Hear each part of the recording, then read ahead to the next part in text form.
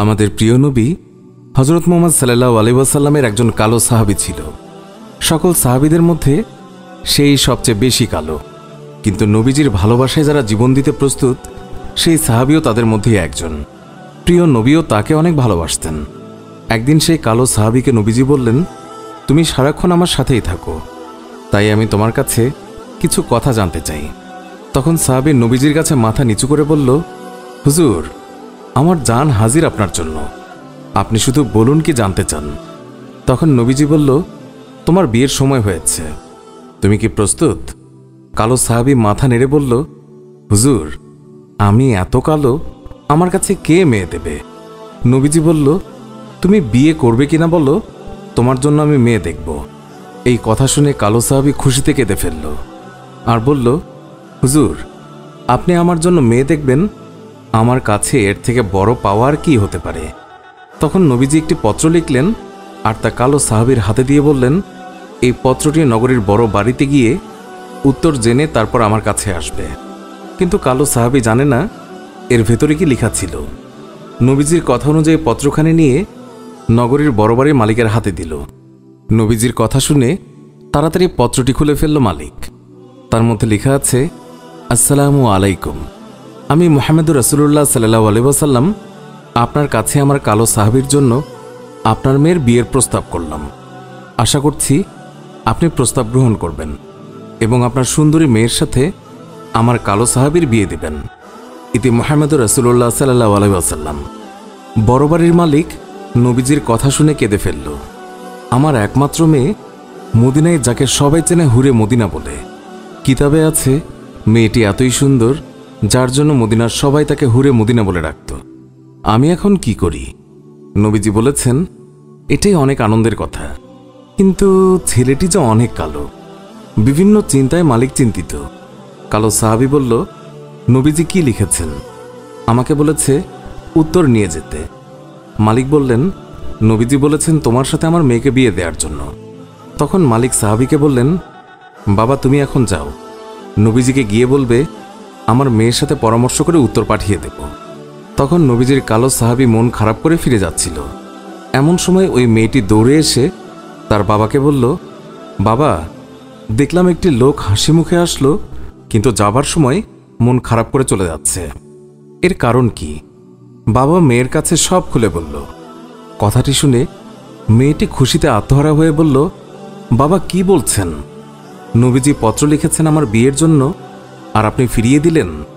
বাবা ওই সাহাবি নবীজির কাছে পৌঁছানোর আগেই তাকে ফিরিয়ে আনুন। না হলে আল্লাহর কাছে আমরা অপরাধী হয়ে যাব। বাবা নবীজি পত্র লিখেছেন। এতে মনে হয়, মদিনার সবচেয়ে সৌভাগ্যবতী মেয়ে আমি।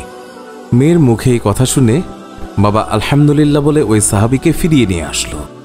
বলল, তুমি যে আমার মেয়েকে বিয়ে করবে, দেনমোহর হিসেবে কি দেবে? তখন কালো সাহাবি বলল আমার কাছে নবীজির ভালোবাসা ছাড়া আর কিচ্ছু নেই। ওই মেয়েটি বলল, বাবা, আপনার তো অনেক টাকা আছে। নবীজির ভালোবাসার জন্য কিছু টাকা দিনমোহরের জন্য ওকে দিয়ে দিন। মালিক আরও বলল, বিয়ে যে করবে, কিছু কেনাকাটা করেছ? আমার মেয়েকে সাজানোর জন্য? কালো সাহাবির উত্তর, আমার কাছে কোনো টাকা নেই।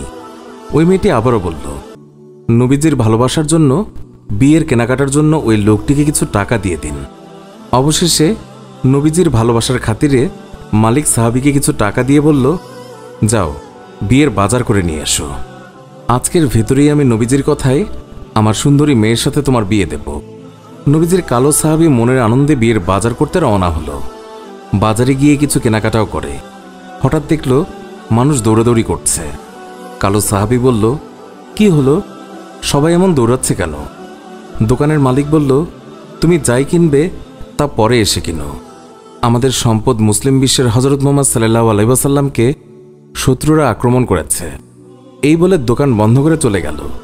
কালো সাহাবি অন্য দোকানে গিয়ে বিয়ের বাজারের টাকা দিয়ে একটি তরবারি কিনল। হঠাৎ আবার মনে হলো, সেই মদিনার সুন্দরী মেয়ে তার জন্য অপেক্ষা করছে। তখন নিজেকে বোঝালো, যে নবী না হলে আমি হতাম না, এই দুনিয়া হতো না, সেই নবীর চেয়ে সুন্দরী মেয়ে আমার কাছে বড় হয় কীভাবে?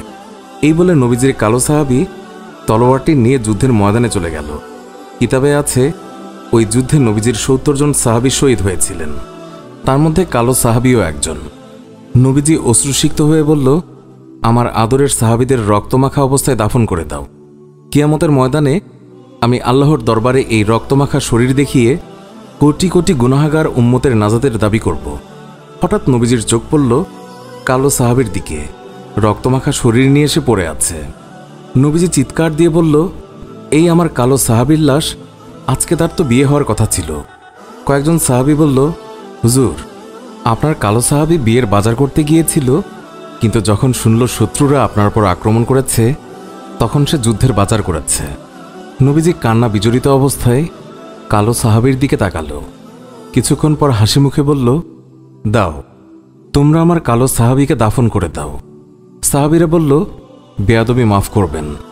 আপনি কান্না অবস্থায় কালো সাহাবের দিকে তাকালেন, আবার হাসি মুখে দাফন করতে বললেন, কারণ কি বলবেন হুজুর?